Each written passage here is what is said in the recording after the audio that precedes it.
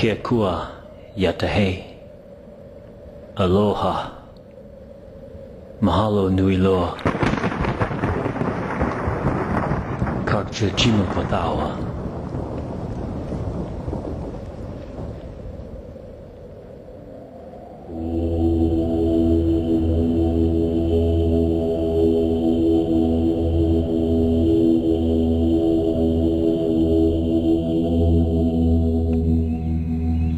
patawa. on a never-ending quest. Seek freedom in the sadness for the beauty that we are. Go emerge. You can fly free from your cage.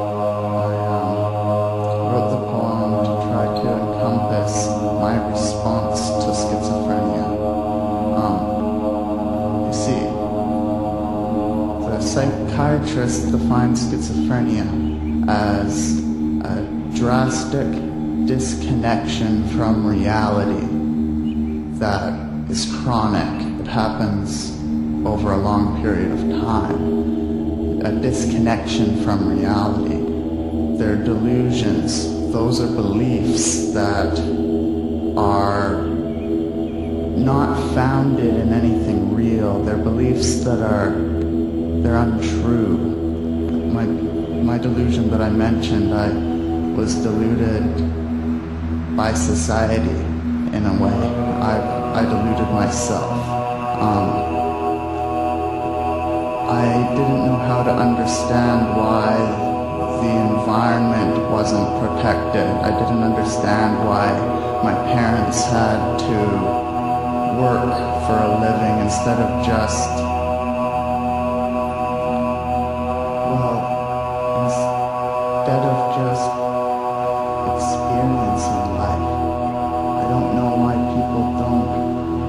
just experience life. I don't know why we enslave ourselves to systems of money and business and banks and whatnot. People starve, wars are fought, and I don't imagine anything more important than feeling good.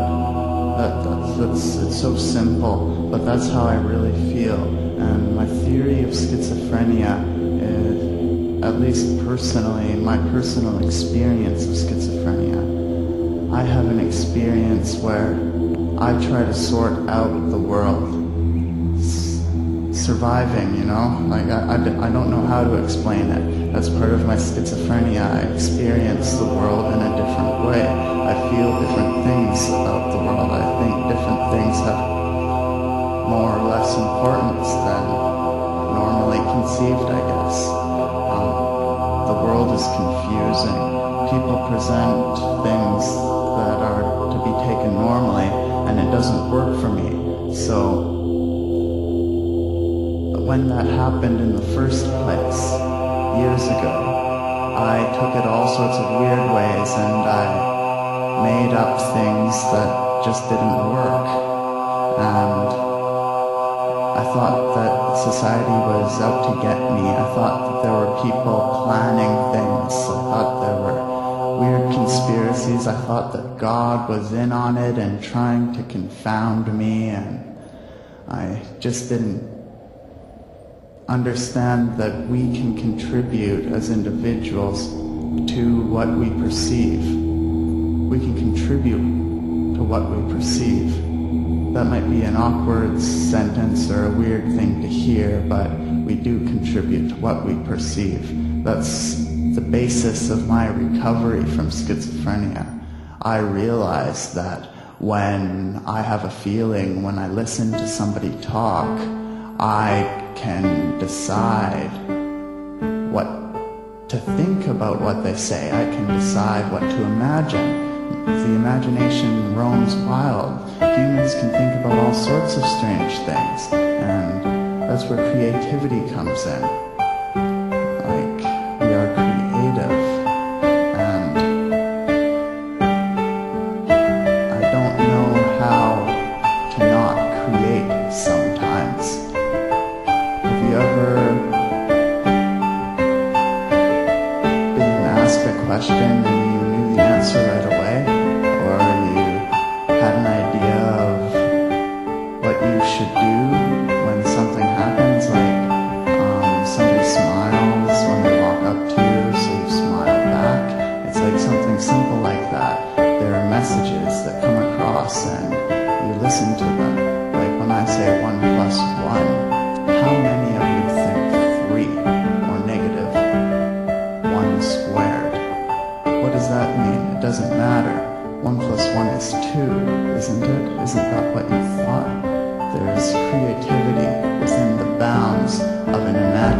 Bound in certain directions. When I say one plus one, I think two, and my imagination is bound, but I decided to ask the question of what one plus one was. There's weird intersections of will and inevitability, and these questions really confuse me. I don't know what to make of it.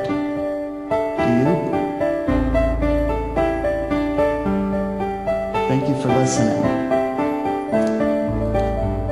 If you have schizophrenia, I hope I didn't confuse you or make you upset or say something in a weird way that I shouldn't have because I'm just trying to make the best sense I can of what I'm experiencing.